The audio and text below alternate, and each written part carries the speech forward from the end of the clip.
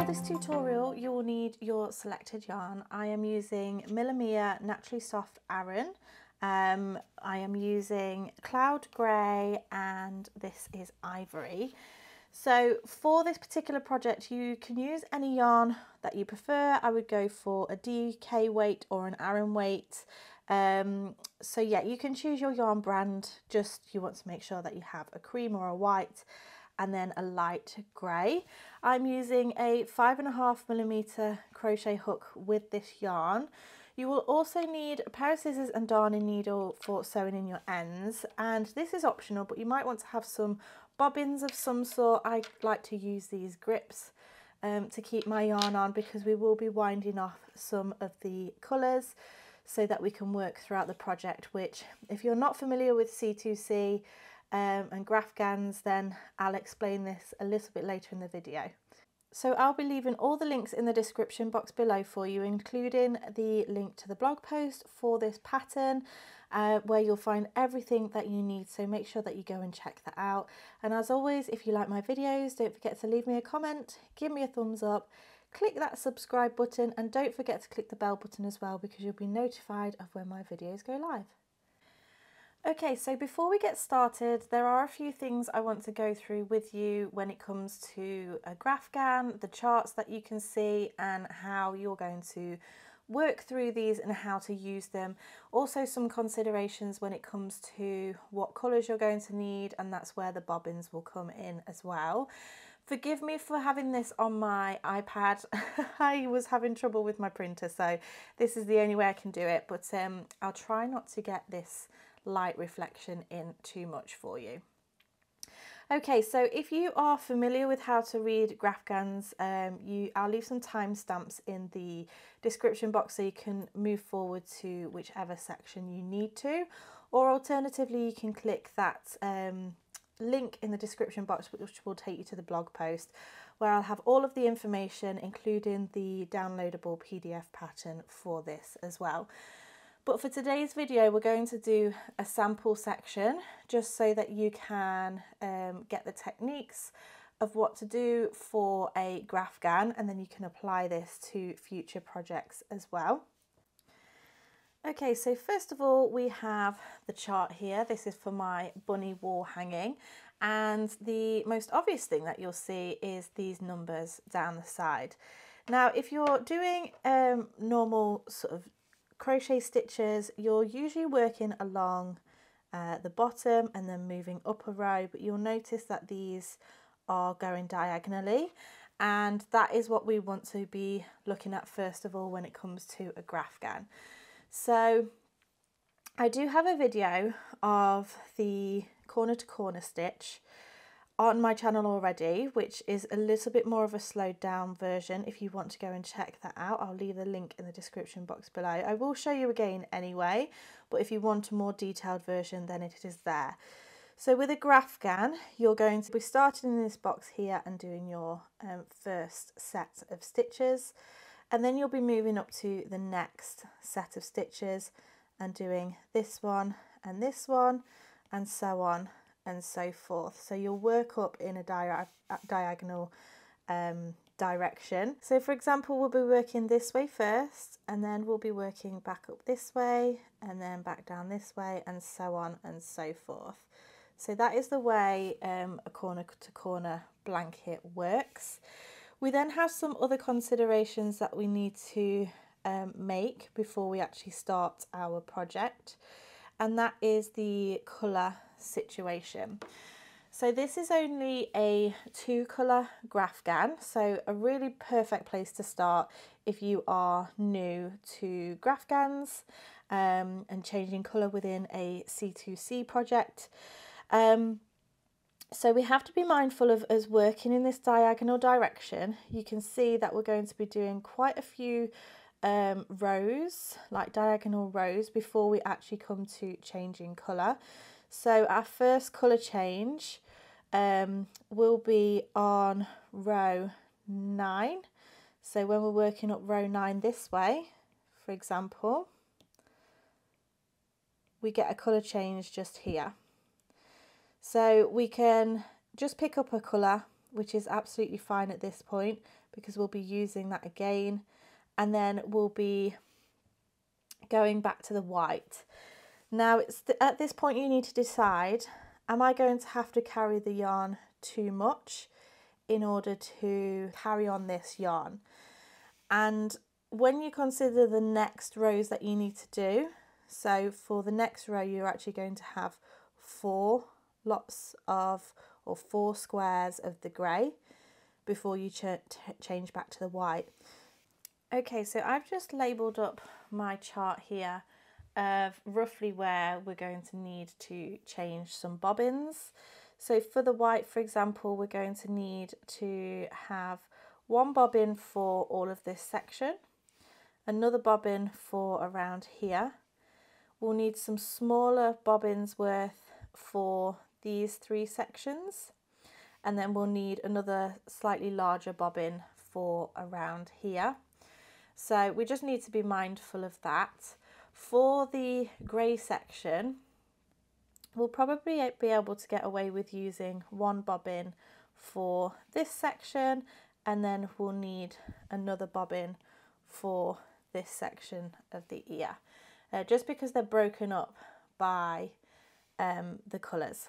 So we're looking likely to need six bobbins, three larger ones, three smaller ones for the white and then two bobbins for the, the grey. So once you get the hang of um, Graphgans and once you practice with more, you'll get a feel for what you're going to need.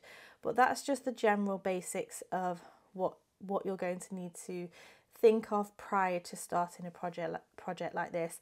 Obviously, there's more to think about when it comes to more um, more colours on your project. That's why I say a two colour project is a perfect one to start with. Okay, so that is your bobbins um, and your colour changes. Now let's get started with the actual stitch. So for this demonstration, I'm going to do a um, 10 by 10 square section. This way you'll be able to see the pattern, you'll be able to see how to change colours using the bobbins and also increasing and decreasing our stitches as well. And then you can use those skills to apply it to the whole project. So go ahead and get your bobbins ready. Um, I will show you next just how to wind off a bobbin if you're unsure, uh, but get all your materials ready and I shall see you in a moment. Okay, so when it comes to creating your bobbins, you can, if you know that you're not doing a huge amount, you can simply just wind off your yarn nice and gently. Don't wind it too tight um, and just take off some yarn like so. Um, this will be perfect for one of those smaller sections because we really don't need a huge amount at all. So I'm going to do one of these and then a few others as well. And then when it comes to doing larger sections, you can use a bobbin, which is essentially a piece of cardboard um, and wrap it round, or you could use something like this. I just think these just look super cool, so I like to use these um, and then just wrap the yarn around like so. Again, just being nice and gentle with um, how tight you're wrapping it round and this for me is going to be a slightly larger section. It's not the end of the world if you don't wind off enough, especially if you have another ball of yarn. Obviously that's going to make things a lot easier for you. It just makes things a little bit tricky um, if you end up having to wind off some more yarn by taking it from the centre of the ball or something like that. It just gets a little bit more messy. So um, if you if you do too much, again, that's not a problem. It's probably better to do too much than not enough at all. Um, so yeah, go ahead and get your bobbins ready for each of the colours and then meet me back in a moment. Okay, so I have my sections already. I have, I'm going to use the main ball for the first sections, uh, but they are all ready and prepared. And now we're going to start by doing the actual pattern. We're going to start using the lighter colour, so the cream or the white, whichever you're using. I'm going to go ahead and put a pink background on this just so it's easier for you to see. So as I mentioned before, we're going to do the just a sample piece here I'm going to demonstrate. Uh, we're going to start off in this first block just here and then move up to doing the two blocks here and here and then three etc. Um, so I'm going to show you how we're going to do the actual C2C stitch first. As I say, if you want a little bit more of an in-depth explanation of this, you can go ahead and check out my uh, video which I did a few years ago. But we're going to start off with a slip knot and you can do this in whichever method you prefer. Go ahead and insert your crochet hook and then we're going to start by chaining six. So that's one, two, three, four, five and six. We're then going to be working back into this chain. We're going to miss three chains, so not the one that's on the hook, one, two and three. And in the fourth chain along, we're going to do a treble crochet. So this is a UK term. In the US, this is known as a double crochet. So it's yarn over, insert into that fourth chain, yarn over, pull through. You'll have three loops on the hook, yarn over, pull through two. You'll have two loops on the hook, and then yarn over, pull through two loops. So that's one, and then into the next stitch do another treble crochet, two, and three.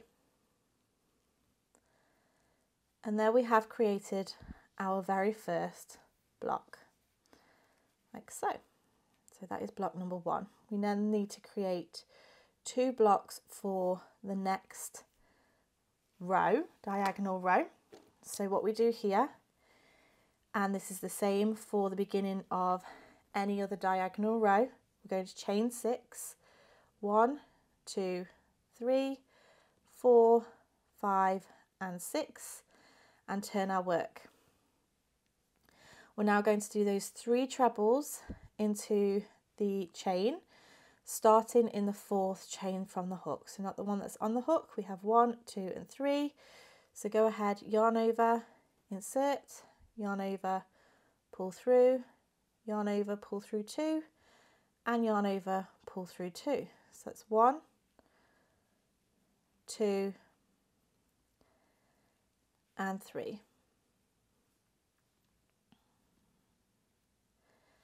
So this is where, if you're not used to corner to corner, it can get a little bit confusing uh, because we just look like we have two floppy blocks here and you can't really tell what's what yet.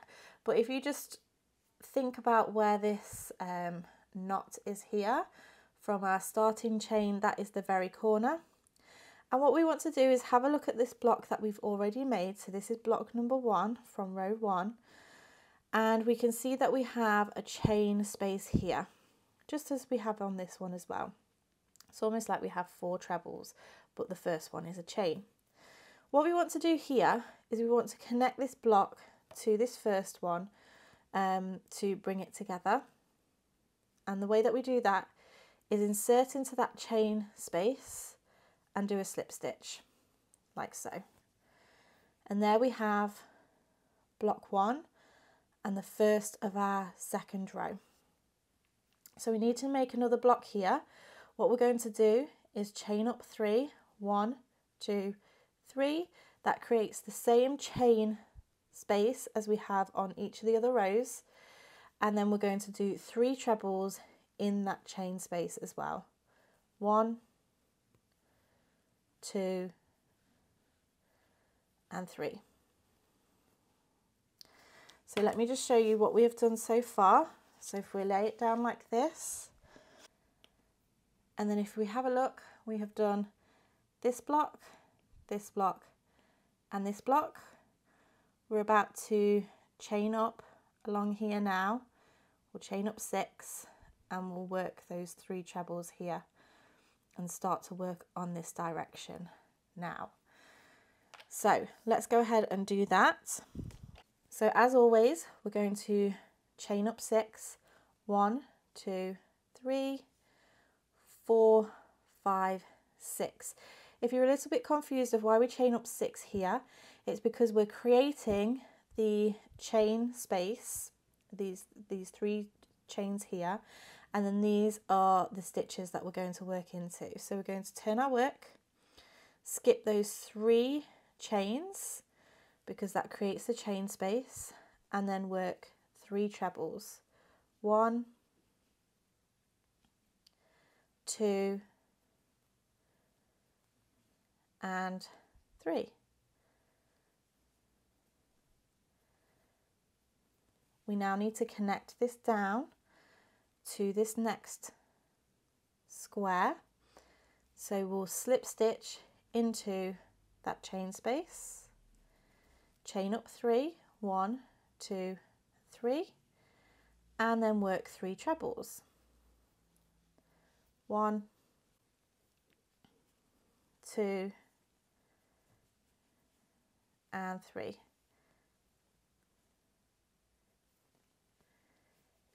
We'll find that next square, slip stitch into it, chain up three, one, two, three, and then work three trebles. One, two, and three. And there we have created our three diagonal rows, which looking at this chart, we have one, two, and three, just like so. So you're going to work your way back and forth for all of these rows. We won't be changing colour until row nine. So you want to build those eight diagonal rows in the same way. If you are really struggling with where you are up to in terms of your corners. Remember this tail here is the very bottom corner and then you can always mark this first square with a stitch marker and your last square with a stitch marker if it's really something that you are getting confused by and it just gives you a marker of where to work up to. So go ahead and work those eight rows and I'll come back and I'll show you how you're going to start changing colour. Okay, so I've now done my eight diagonal rows and we're now at row nine. So we're going to start here. Now you can see that we have two blocks of white before we change colour and then we'll do two blocks of grey and then change colour again to finish off this row. So that's what I'm going to show you now is how to change those colours. So we'll go ahead and um, do the first two blocks. So I'm just going to chain my six and do those two blocks and then meet you back when I'm ready to change. Okay, so I'm now at the section where I am ready to change uh, to the grey colour. And what I'm going to do here is actually change on the slip stitch. So you want to insert your crochet hook, go ahead and grab your new colour, loop it over and slip stitch through. So this ball of yarn that I have here is now going to sit and wait until I get back to pick up this yarn again because I have a second ball of yarn um, ready for when we uh, get to the other side of these two blocks. So I'm going to chain up three as we would do normally, lay down the tail end and then as I'm working into that chain three section I'm going to work in that tail end just to save me from sewing in my um, yarn too much. I'm also going to bring that up to the next section where I'm going to do my slip stitch, just pull it nice and gently, chain three and then just further disguise that tail end into the work. So we have one, two and three. So if I just um, lay this down so that we can see what the work is looking like, I'll just bring this tail end to the back.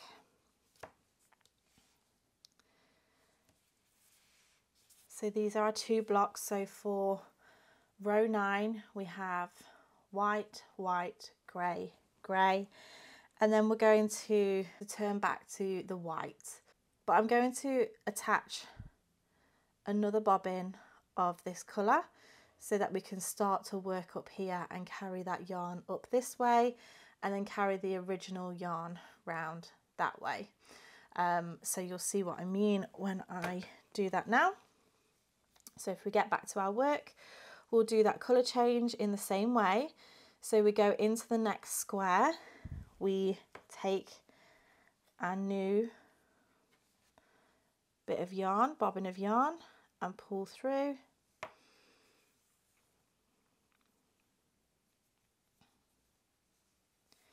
Chain three, one, two, three. We're going to leave this grey for now and come back to that because uh, we're going to pick that up when we come back to the next row and then we're going to just continue to finish off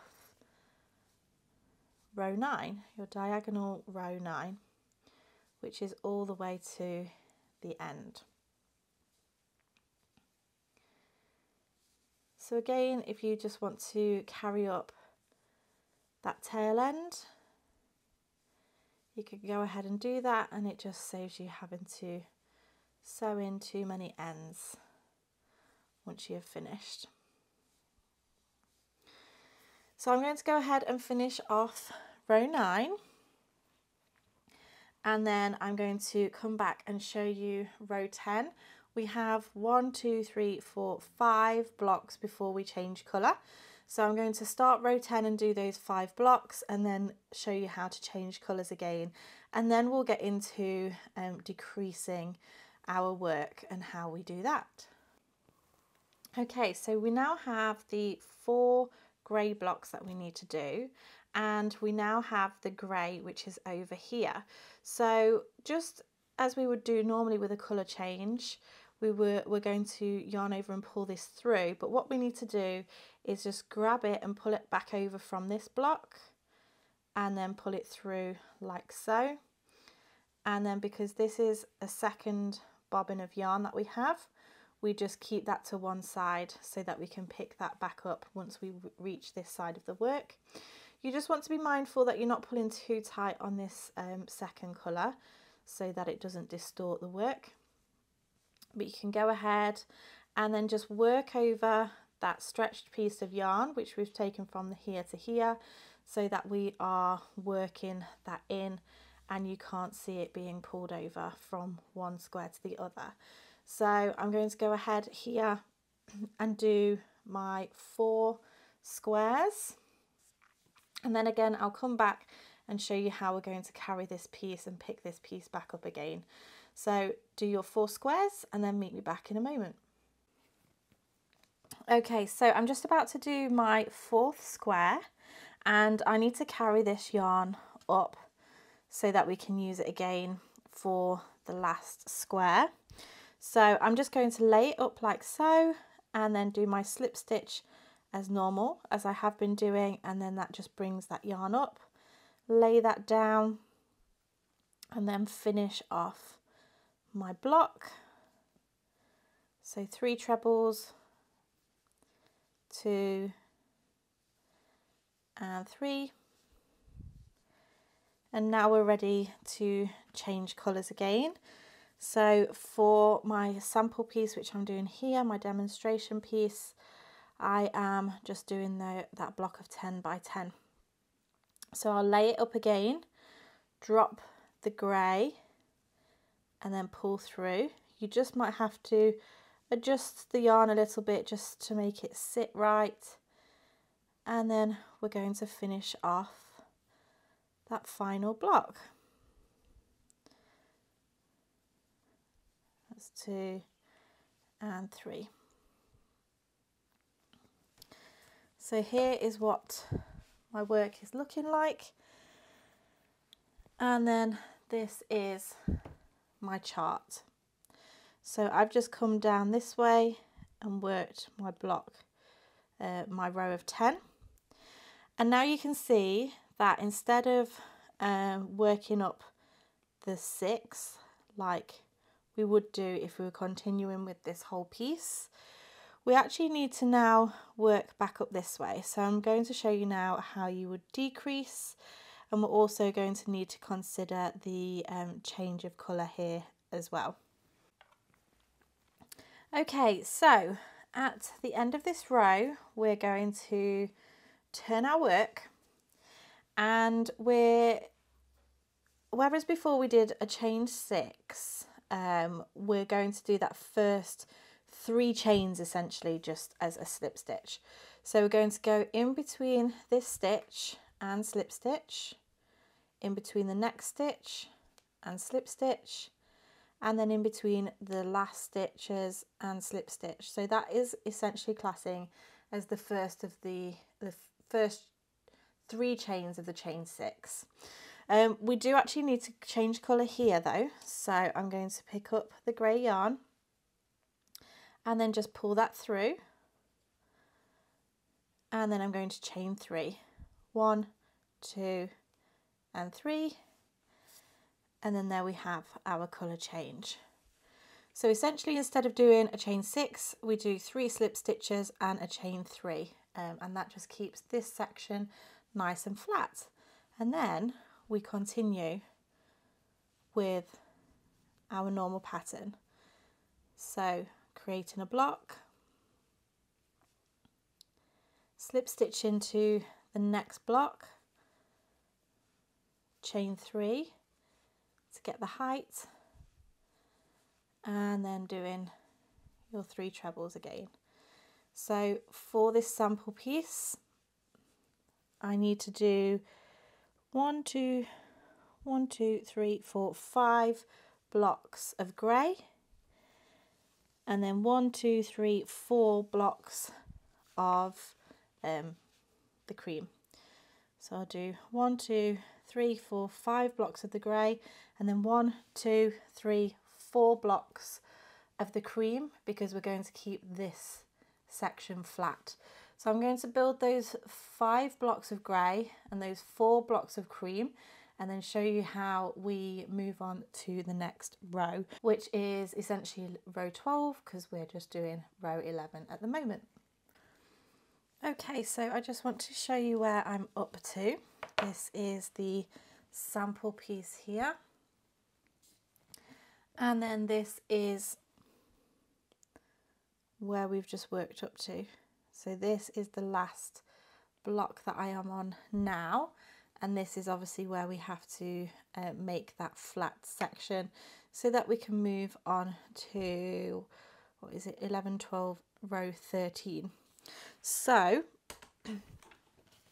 as we're looking at it like this we're actually working the opposite way. So you just have to be mindful of that. We're going to go into that section with a slip stitch to join this last block to the first block.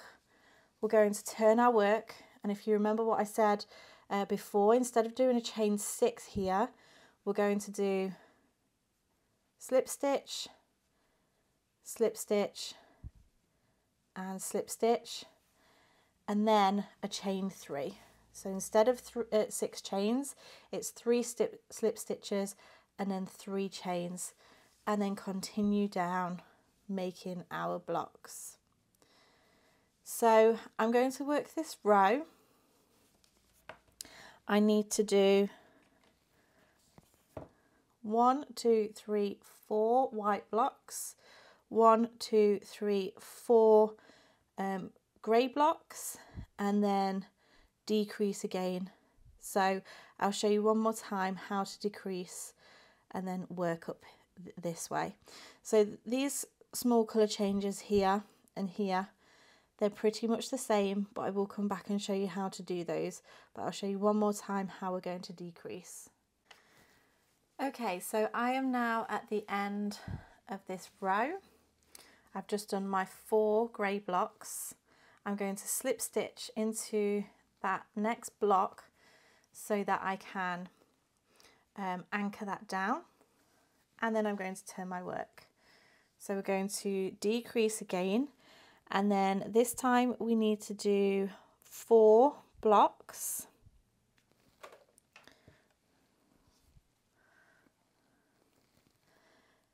So we've just worked down here and we need to work back up this way. So we're going to do four blocks of the grey and then three blocks of the white. So if we go ahead and decrease, which is slip stitch, slip stitch, slip stitch, and then chain three. One, two, three, and continue with our block. So this row is again quite straightforward. The next row we're going to have some colour changes back and forth within the row. So what I'm going to do is I'm going to complete this row, move on to the next row. So I'm going to complete this row. I'm going to also complete the next row, which is two white, three grey, one white, and then we have a colour change within the actual row. So I'll just show you um, how to do that and then hopefully you should get the hang of um, doing your rows. So pause the video, work your way to the end of this row. You'll then do two white, four grey, one white, and then I'll meet you back for the row after. Okay, so this is where I'm up to now with my work. So you can see here that this is the, the part of the nose. Obviously that would be built bigger if I was doing the larger version now. Uh, but what we're going to do now is do a grey, a white, a grey, and then two whites. So there's just a few more colour changes in this section.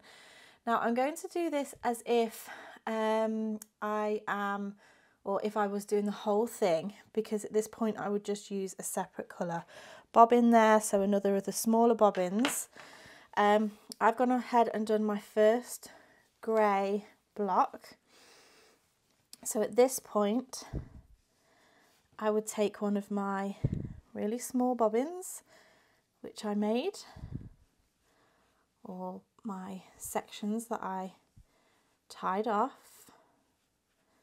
And it's really just the same as any other colour change um, but obviously we're just changing colour quicker between the two.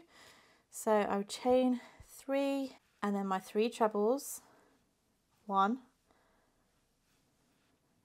two and three carry up my grey yarn and then change colour on that slip stitch. Now for me now with this one, I'm done with that. So it's totally up to you if you want to fully secure that in because it's going to be a lot looser than if we picked it back up again and worked it into the work. So if you wanted to sew that in at this point, you can absolutely do that. Uh, but I'm just going to continue with my two blocks of grey. Sorry, one block of grey. One, two, and three.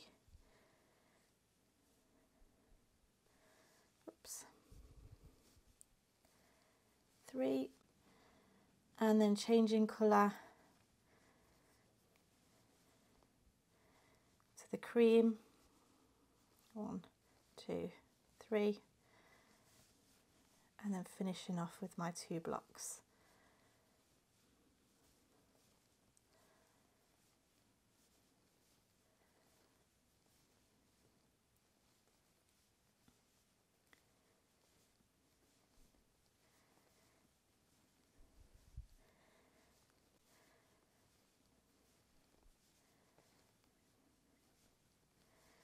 Okay, so I'm going to slip stitch, turn the work, and then three stitch, slip stitches across.